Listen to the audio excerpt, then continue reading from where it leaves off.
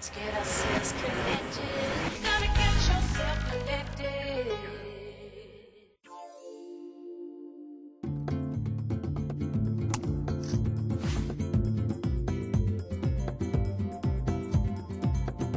I think it's important nowadays when you're looking at uh, new purchases, especially in the electronics arena, that you make sure that uh, the product is as environmentally friendly as possible. One is to look at the energy that things uh, actually consume, electronics especially.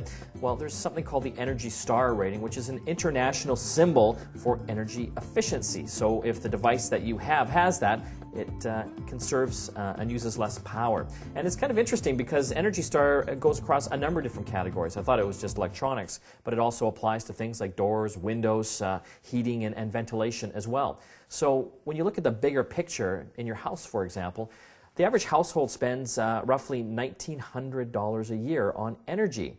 And uh, a 30% saving, that's about $600. So that's uh, nothing to sneeze at as far as uh, saving money if you uh, get the right gear. Well, that being said, uh, this particular printer, the Epson, it is Energy Star compliant, uh, but it also prints out great photos as well. You can see it's one of these uh, breed of portable photo printers. Prints out 4 by 6s and uh, we've actually printed out a few here already. You can see the quality is, uh, is quite good. It's uh, an inkjet printer. It prints out as quick as I think around 45 seconds, and the cost per print can get as low as around 39 cents.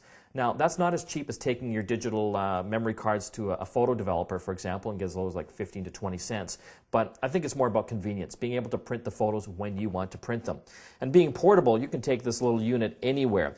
You don't have to have it hooked up to a computer. You can plug in any digital camera that's PictBridge compatible, which is pretty well all of them nowadays, and it even has the memory card slots up front as well. So there's a number of different ways to get the photos into the unit. And having the LCD screen on here, you can uh, actually go through all the different photos and print out the ones you want. It also has some uh, basic editing features built into it, so you can crop photos and also remove red eye.